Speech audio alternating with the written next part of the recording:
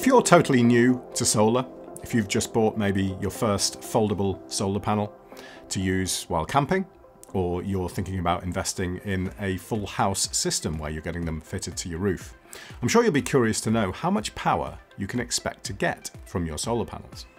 Well, I've been playing around with it for the last kind of year, year and a bit now. Uh, solar, the solar and uh, off-grid energy bug has had me for uh, probably over a year now. And I just kind of test things out, try different panels, and just wanted to share some of those, some of that information with you about how much power you can expect. Firstly, let's talk about the actual hardware itself. As a general rule, just to give you a rough figure, I would say if you're you, if you're getting anything between 75 and 90 percent of the rated capacity of the panel, you're doing pretty well. 75 would be certainly be the lower side in uh, in good sunlight, good conditions, and 90% uh, would be absolutely excellent. So why not 100%? If you're going to get a 400 watt panel, why can't you get 400 watts from it? Well, usually it's down to the fact that it's tested under very specific conditions. Most of the time, you'll see written on the documentation that the panel's tested at 25 Celsius with a very specific brightness of light shining on it. And those conditions are just never really possible to achieve. The reason being that, well, if you're thinking about a, let's say a summer day, and the air temperature could be 25 Celsius, Never mind the actual solar panel when it has sun shining on it, because funnily enough, solar panels are black. They get really, really hot in the sun. So they are never operating, well, very rarely operating at 25 Celsius. And therefore, the efficiency of the panel drops off as the temperature increases. So yes, they can theoretically perform uh, and uh, deliver 400 watts, but you're very unlikely to see that kind of output. So why the range? 75 to 90 seems a pretty big range. Well, just different hardware manufacturers produce panels in different ways. They have different efficiencies. And I have, uh, I have one 400 watt panel, so the large type that you might see fitted to a roof. And the best I can get out of that is 350 watts. However, most of the time, when it's sat in the sun, it will achieve 300 watts. It'll do no more than 300 watts, so 75%, which isn't that good really. It's only when the conditions are absolutely perfect and the sun is absolutely spot on angle-wise with the panel that that bumps up to 350 watts for a short period of time. The other panels I've got, so uh, some Renogy 175s, the Renogy 2, uh, 200, uh, they're a little more forgiving as far as the angle of the sun is concerned, and they'll perform at a higher rating, so a higher percentage of their rated capacity uh, for a longer period of the day. So maybe the manufacturer has just been a little less generous with the rated capacity, and therefore I'm getting a seemingly better experience, or yeah, I am not not certain of the reasons, or they're just you know better produced or better manufactured. Really don't know. But they, the point I'm trying to make here is that they do vary from manufacturer to manufacturer. So overall, if you're achieving 75 to 90%, be happy with it. The panel I started out with was a foldable Elecaenta 100 watt panel. And you can get 90 watts out of that, which is a really good amount. Of course, you've got to have it perfectly positioned, but you can do it.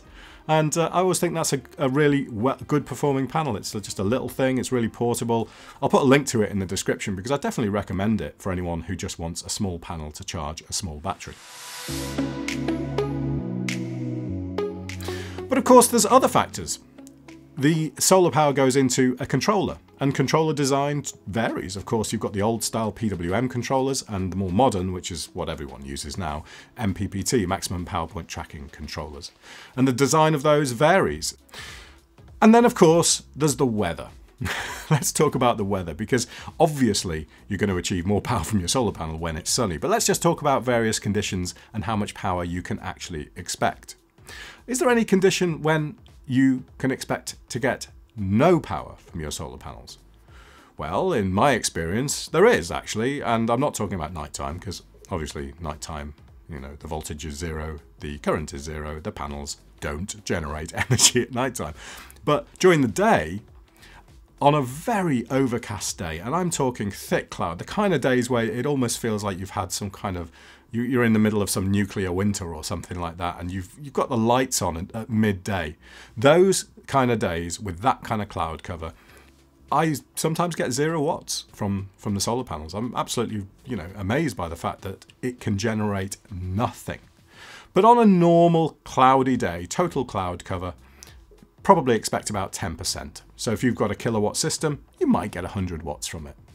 On a bright cloudy day, so when the clouds are nice and white across the sky, still complete cloud cover, not a single bit of sunshine, but bright cloud cover, maybe 20%, 25%, 200, 250 watts from a 1000 watt system. That would be a fair expectation. It varies all the time and it, you know, it really does depend, but that's what you could expect.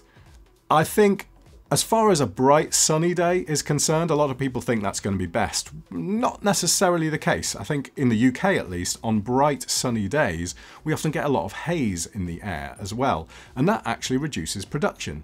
And of course, you've got the issue with the panels heating up quite considerably, within the direct sunlight for a long period of time. So yes, you'll be achieving a lot of power and over a lot of time. So across the day, you're going to get superb results.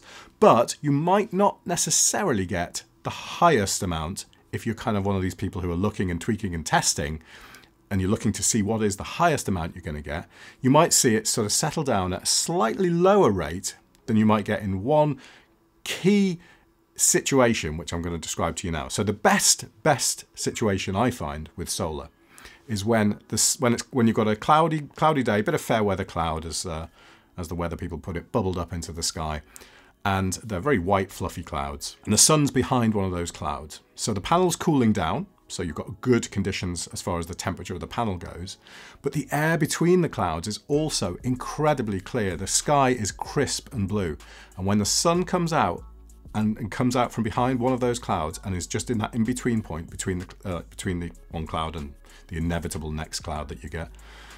That is when you get your absolute peak production. It will shoot up and you will see the best output from your system that you see at any time.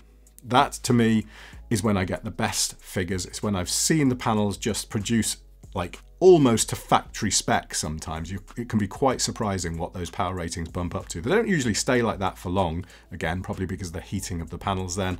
Uh, but during those times when you're between, the, in, in the clear air between the clouds, that's when you're going to get the most. What about winter? Well, winter makes no difference. The solar panels don't care. If you've got a clear day and you've got a good angle on the sun, all the solar panels care about is light, and the sun still produces light in the winter. Just because it's cold outside and it feels like a not a sunny day or not a sort of warm day, solar doesn't care about that. The problem with winter is you have, in the UK at least, short days. You have worse weather, so you have little time to actually, uh, you have less time to, uh, to actually harvest any energy because of the short days and the worse weather. And the angle of the sun changes, so it's unlikely your panels are going to be optimized for that angle.